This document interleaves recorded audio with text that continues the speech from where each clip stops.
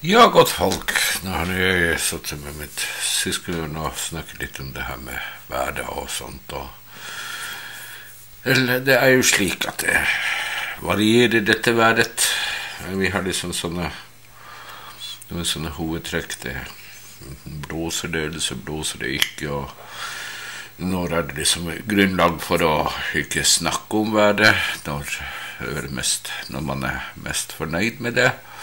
Mens derimot, hvis nå været er slik at uh, At det liksom ikke er sånn akkurat sånn som man ville ha det, kan du si sånn Nå her blåser det jo en del, og det er jo kanskje ikke akkurat det beste været. Sånn sett, hvis man skal ut kunne man ønske seg litt videre at det ikke blåste så mye. Andre ganger kan det være at det regner eller snør. Altså, det er jo når det været er slik at man skulle ha ønska seg litt bedre vær, så kunne det vært slik at det var bedre vær enn det, det været som var. Men uh, vi har nå vent oss en gang til dette været, og må liksom innordne oss deretter.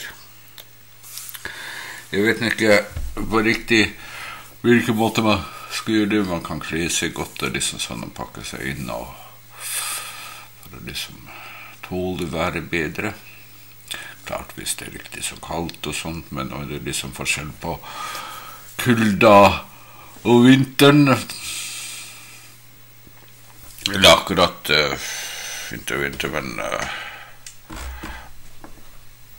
så nå prøver jeg å dreie det her skjermen litt sånn. Skulle nå få det bedre, så, så at det liksom så rett inn i kameraet, eller så rett mot dere. Men liksom ikke bestandig like rett. Her beveger man seg rundt omkring.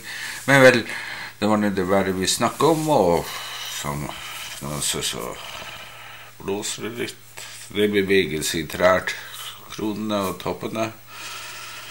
De så det må jo være liksom litt uh, godt for dem at de får beveget seg litt. For uh, ja Liksom blir jo kjedelig å stå der helt stille hele tida. Når det svaier dem der i vinden og får skikkelig Håper jeg nesten gjort fra seg, men ikke akkurat det. Men jeg får litt mosjon. De har jo stått der i vet ikke hvor mange år. Titalls år, kanskje. Og nå er jo liksom veksten på de her trærne ikke så enorm akkurat. De blir ikke sånn kjempestore. Ja, ja. Hvor store kan de vel også bli? Men eh, vel hvis det er noen flere som har lyst til å snakke om vær og vind og sånt, og så, sånn, så er dette jo en sånn invitasjon til det. Man kan snakke om det været som er, eller om det været som har vært, eller om det været en forventer seg skal komme. Det er liksom en sånn grei måte. Jeg skal ta med en kopp kaffe til. Jeg har tatt et par kopper te og sånn. Så tenkte jeg kanskje en kopp kaffe mens det været får det være, være som det være vil. Så da bare takker for meg her til søndag 7. mars klokka 12.11.26 er det. Og sånn ser det her ute. Det er altså vær her også. Være eller ikke være.